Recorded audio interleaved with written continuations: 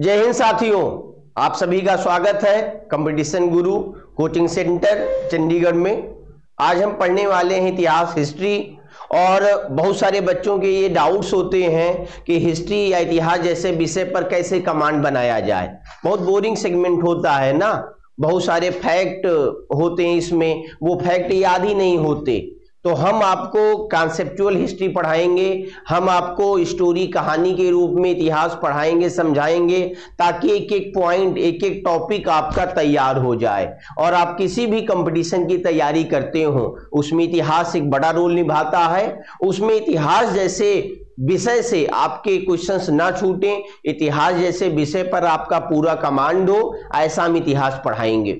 Okay तो देखिए, आज देख लेते हैं इतिहास होता क्या है हिस्ट्री में पढ़ना क्या होता है, और कौन कौन से टॉपिक हैं जो बहुत इंपॉर्टेंट होते हैं, कौन से सेगमेंट हैं जिसको हम थोड़ा बहुत छोड़ सकते हैं ओके तो शुरू करते हैं इतिहास। तो सबसे पहले यही बात हुई कि हिस्ट्री होती क्या है। हिस्ट्री है क्या? इतिहास है क्या? तो कोई भी पॉइंट अगर हम इतिहास में पढ़ते हैं तो हम देखते हैं वो सारे पॉइंट वो सारे सेगमेंट बीते हुए होते हैं। इतिहास में कुछ नया नहीं होता, सब पुराना होता। मतलब स्टडी ऑफ़ पास्ट इतिहास क्या है? Study of past study of past right अतीत का अध्ययन। अतीत का अध्ययन। क्या कहलाता है? इतिहास कहलाता है। अब आपके सिलेबस में भारत का इतिहास रखा गया है। भारत के इतिहास को हम तीन भागों में बांटते हैं। Indian history is divided in three parts तीन भागों में भारत का इतिहास बटा हुआ है। एक होता है एंशियन हिस्ट्री सबसे बोरिंग यही होता है प्राचीन इतिहास। राइट इंटरेस्टिंग होता है मेडिवल हिस्ट्री मध्यकालीन इतिहास, उससे भी ज़्यादा इंटरेस्टिंग और प्रैक्टिकल होता है मॉडर्न हिस्ट्री तो ये तीन पार्ट हुए। कौन कौन प्राचीन इतिहास प्राचीन इतिहास, मध्यकालीन इतिहास और आधुनिक इतिहास। और आधुनिक इतिहास। अब प्रश्न बना कि इनका डिवीज़न कैसे किया गया है? कहाँ से कहाँ तक के समय को हम प्राचीन इतिहास बोलेंगे? एंशियन हिस्ट्री कौन सा टाइम पीरियड है जो मेडिवल हिस्ट्री के अंतर्गत आएगा या कौन सा टाइम पीरियड है जो मॉडर्न हिस्ट्री के अंतर्गत आएगा? देखिए, हम लोग पढ़ लेते हैं, समझ लेते हैं। एंशियन हिस्ट्री का समय। एंशियन हिस्ट्री स्टोन एज से शुरू हुई। स्टोन एज मतलब पाषाण काल। पाषाण काल। एक ऐसा भी समय था मानव का एक ऐसा भी स्टार्टिंग फ़ेज़ था शुरुआती दौर, जब मानव ना पत्थरों की गुफाओं में रहता था स्टोन केव्स में रहता था, जब मानव पत्थरों से आग बनाता था, आपको पता होगा invention of fire was big incident of history of India या हिस्ट्री ऑफ़ वर्ल्ड तो भारत के इतिहास में या विश्व के इतिहास में एक बड़ा आविष्कार था, अग्नि का आविष्कार। अग्नि के आविष्कार ने जीवन को बदल दिया पूरी तरीके से राइट तो स्टोन एज या पाषाण काल, एक ऐसे दौर को कहा गया जब मानव के जीवन में पत्थर की उपयोगिता थी, जब बहुत ज़्यादा यूज़ था, जब मानव की निर्भरता, डिपेंडेंसी स्टोन्स पर बहुत ज़्यादा थी। जैसे वो पत्थरों से आग बनाता था पत्थरों की गुफाओं में रहता था, पत्थरों के हथियारों से वो हंटिंग करता था, शिकार करता था, वो अपने कबीले, अपने समाज, अपने सोसाइटी की रक्षा करता था हथियारों से। मोस्टली वो हथियार वेपन्स किसके बने होते थे? स्टोन्स के। हो गया क्लियर तो इस तरीके से उस पूरे दौर को स्टार्टिंग फ़ेज़ को स्टोन एज कहा गया। इसमें हम लोग पढ़ेंगे कि पाषाण काल को भी कई सारी कैटेगरीज हैं उसकी, कई सारे विभाजन है उसके जैसे आप देखेंगे पैलियोलिथिक, मेसोलिथिक, नियोलिथिक, क्लियर? तो धीरे धीरे परंपरा आप देखेंगे बढ़ती जाएगी, बनती जाएगी और आगे हम लोग आज़ादी तक पहुँचेंगे। तो पहले कोई भारत की आज़ादी वाला कॉन्सेप्ट नहीं था। पहले शुरुआती फ़ेज़ था और मानव के अंदर इतनी सभ्यता, इतना सिविलाइजेशन नहीं आया था। इतना मानव सभ्य नहीं हुआ था सिविलाइज नहीं हुआ था कि वो आज के जैसा माहौल को फील कर पाता, महसूस कर पाता। क्योंकि मानव आदिम था, जंगलों में रहता था। वही झिंगा लाला झिंगा लाला, नहीं? तो आप जानते होंगे, बहुत सारी ट्राइब्स आज भी हैं जो कहाँ रहती हैं? जंगलों में रहती हैं। तो उनको आज के जीवन से कुछ नहीं पता है। कौन आईफोन 14 आया या 13 आया, उनको पता है, कुछ नहीं पता है। क्योंकि उनकी अलग ही दुनिया है। ऐसे ही मानव की स्टार्टिंग जो फ़ेज़ था, वो ऐसे ही था। क्लियर आज की दुनिया से एकदम कटा हुआ था। कोई कनेक्शन या कनेक्टिविटी नहीं थी। ओके तो शुरू हुआ कहाँ से? स्टोन एज से। और कहाँ तक? तो सुना होगा आपने, एक राजा हुआ करता था एंशियन हिस्ट्री में, हर्षवर्धन। सुना होगा आपने। तो हर्षवर्धन तक, कहाँ तक? हर्षवर्धन तक का जो समय है, वो क्या है? एंशियन हिस्ट्री राइट और हर्षवर्धन की डेथ कब हुई? 647 एडी में 600 सैतालीस में, और उसी के बाद साथ ही 650 में एंशियन हिस्ट्री की एंडिंग मानी जाती है। देखिए भाई, इतिहास ऐसा विषय है ना हिस्ट्री जिसमें बहुत सारे पॉइंट बहुत सारे सेगमेंट विवादित हैं डिस्प्यूटेड हैं। तो कुछ लोग कहते हैं एंशियन हिस्ट्री 712 में समाप्त हुई 712 में कोई कहता है 750 में समाप्त हुई 750 में ऑलमोस्ट बुक्स ऑलमोस्ट किताबें इवन की एनसीईआरटी बुक्स e भी 650 को एंशियन हिस्ट्री की एंडिंग मानती है। तो हम भी हर्षवर्धन को अंतिम राजा मानते हैं किसका? एंशियन हिस्ट्री का। अब प्रश्न बना कि क्या क्या हम पढ़ेंगे एंशियन हिस्ट्री में? भाई, बहुत बोरिंग सेगमेंट है ना। तो अब क्या क्या पढ़ेंगे? तो अगर आप को सिलेक्शन लेना है। अगर आपको इतिहास पर कमांड बनाना है तो भाई पढ़ना पूरा पड़ेगा। तो अब क्या क्या पढ़ना है? जैसे आपको पता होगा, पाषाण काल मैंने बताया। आगे आपने सुना होगा इंडस सिविलाइजेशन सिंधु सभ्यता या हड़प्पा सभ्यता, उसके बारे में पढ़ना होगा। अब हड़प्पा सभ्यता का दायरा बहुत बड़ा था। लगभग 1500 सिटीज़ हैं, इसके अंतर्गत 1500 नगर है। लेकिन सारे नगर इंपॉर्टेंट नहीं, उसमें से कुछ नगर इंपॉर्टेंट हैं। जैसे धौलावीरा, कालीबंगा, रोपड़, लोथल, हड़प्पा मोहनजोदड़ो सुना होगा आपने। तो ये सब इंपॉर्टेंट हैं, ये सब आपको बताया जाएगा। और सिंधु सभ्यता के बाद आगे पढ़ेंगे आप तो आप देखेंगे वैदिक संस्कृति या वैदिक पीरियड के बारे में, जिसमें वेदों की रचना हुई हमरिक वेद के बारे में साम वेद के बारे में, यजुर्वेद अथर्वेद के बारे में पढ़ेंगे। और आगे आप बढ़ेंगे तो आप देखेंगे सोलह महाजनपद का कॉन्सेप्ट आएगा, क्योंकि पहले भारत देश का कॉन्सेप्ट नहीं था। पाकिस्तान, बांग्लादेश, अमेरिका, इंग्लैंड का कॉन्सेप्ट नहीं था। भारत में क्या थे? सोलह महाजनपद थे, सोलह अंपायर थे स्टेट थे, जिनको हम महाजनपद के नाम से जानते हैं। सुना होगा काशी कोसलंग मगध, वज्र, मल्ल, सुत, ये सब ना? तो उसमें मगध बिहार से बिलोंग करेगा या मगध अंपायर कहाँ था? आधुनिक बिहार में। पहले बिहार बहुत बढ़िया था। आज पता नहीं कैसे थोड़ा सा गड़बड़ हो गया बिहार। आशा करते हैं कि बिहार बहुत जल्दी ही अपने गौरवमयी इतिहास को दोबारा प्राप्त कर लेगा। ओके? तो अब आगे आप देखेंगे इसी समय छठी शताब्दी बीसी में सिक्स सेंचुरी बीसी में जैनिज्म और बुद्धिज्म ओरिजिनेट होंगे, जैन धर्म और बौद्ध धर्म ओरिजिनेट होंगे। अब एक प्रश्न है, बहुत रिपीटेड प्रश्न है आपके एग्ज़ाम्स के लिए। आप किसी भी कंपटीशन की तैयारी करते हो, लेकिन ये रिपीटेड क्वेश्चन है, जरा सोच के बताइए आप। प्रश्न क्या है कि पहले जैन धर्म आया या पहले बौद्ध धर्म आया? Which one came in India first तो पहले जैन आए कि पहले बौद्ध आए? ऑलमोस्ट लोग बताते पहले बौद्ध आए। भाई तो आपको बोलना है, पहले जैन आए। लेकिन अब आपसे पूछेगा कि पहले महावीर स्वामी आए या पहले महात्मा बुद्ध आए? ये डिस्प्यूट हो जाता है यहाँ पे। तो लगभग लोग बताते हैं कि महावीर स्वामी आए। नहीं भाई, गलत है। पहले महात्मा बुद्ध आए, बाद में महावीर स्वामी आए। क्लियर है? ये याद रखना, महावीर स्वामी ने जैन धर्म की स्थापना नहीं करी।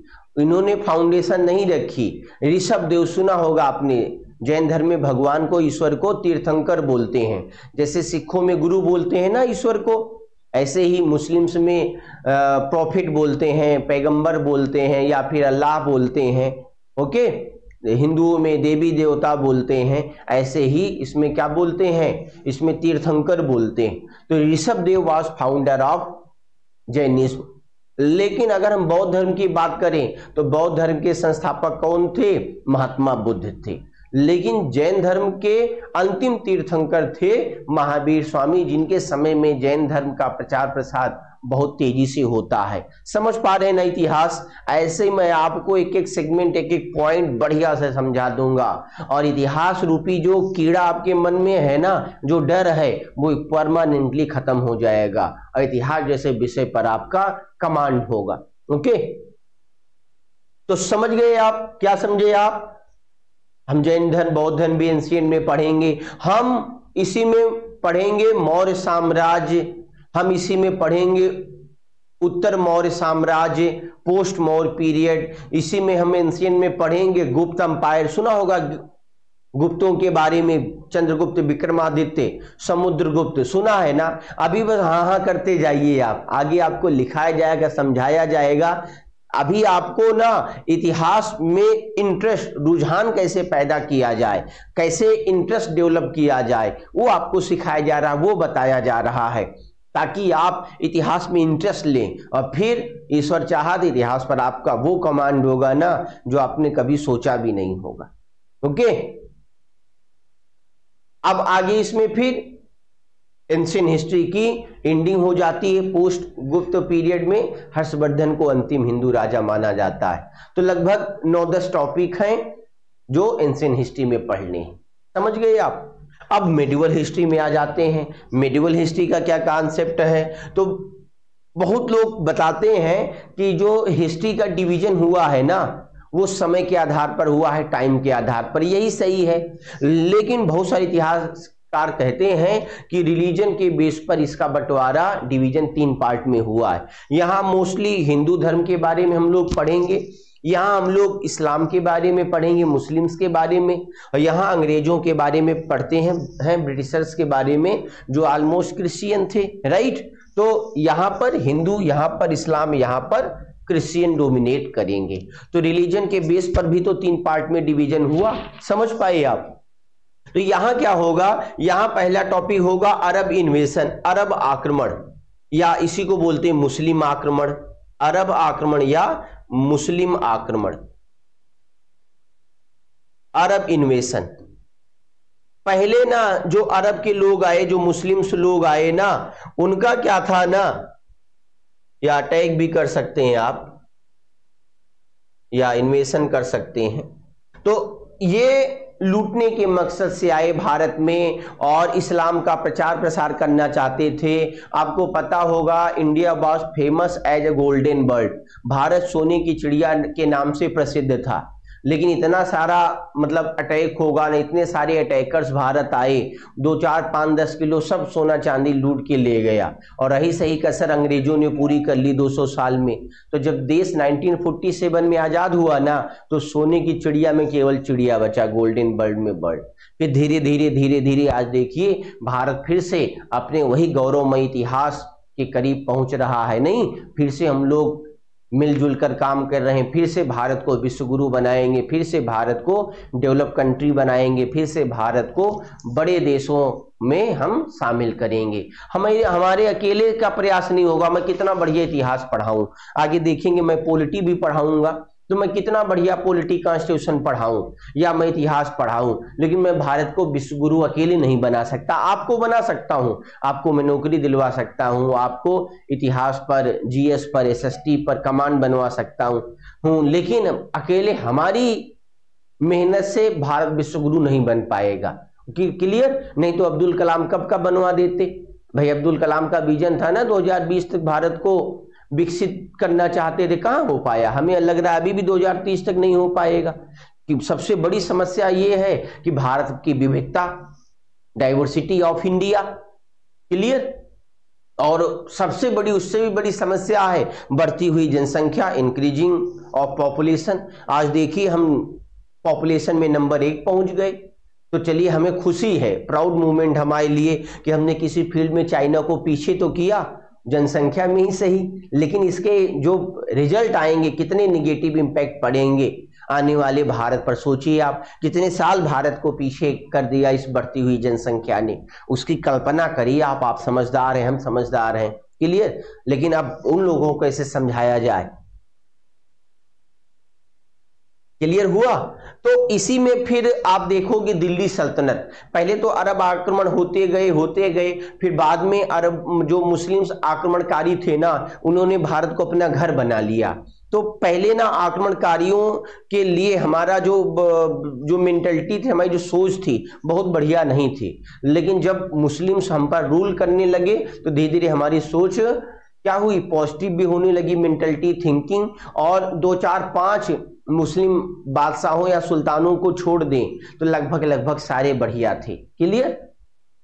तो इसी में हम लोग दिल्ली सल्तनत पढ़ेंगे, इसी में हम लोग मुगल काल पढ़ेंगे। क्या पढ़ेंगे? दिल्ली सल्तनत, जिसमें पाँच डायनेस्टी रूल करेंगी, उसमें आप पढ़ोगे स्लेब डायनेस्टी, गुलाम वंश, खिलजी डायनेस्टी, खिलजी वंश, तुगलक डायनेस्टी, सैयद डायनेस्टी और लोदी डायनेस्टी। फिर आपने सुना होगा, first battle of Panipat that held in 1526 in this battle Babur defeated Ibrahim Lodi and he founded Mughal empire in India अब मुगलों की स्थापना भारत में हुई, मुगल अंपायर शुरू हुआ और आपने सुना होगा रिवोल्ट ऑफ़ 1857 1857 का विद्रोह हुआ। अंतिम मुगल बादशाह बहादुर शाह सेकेंड या ज़फ़र हुमायूं के मकबरे से गिरफ़्तार कर लिया गया। उसको रंगून, म्यांमार, बर्मा भेज दिया गया। वहीं पर मर गया वो और फिर अंग्रेज़ों ने अट्ठावन का अधिनियम पास किया। आपने सुना होगा एक्ट ऑफ़ 1858 और उस अधिनियम के द्वारा, उस एक्ट के द्वारा हमेशा के लिए भारत में ईस्ट इंडिया कंपनी का शासन समाप्त कर भारत में ब्रिटिश हुकूमत ने रूल करना शुरू कर दिया। और फिर अंग्रेज़ों के खिलाफ हमारे मूवमेंट हुए, हमारे आंदोलन हुए, उसमें पंजाब भी बड़ा केंद्र था। अकेले कोई एक राज्य बोल दे, अकेले कोई एक क्षेत्र बोल दे कि हमने देश को आज़ादी दिलाई, बहुत गलत बात।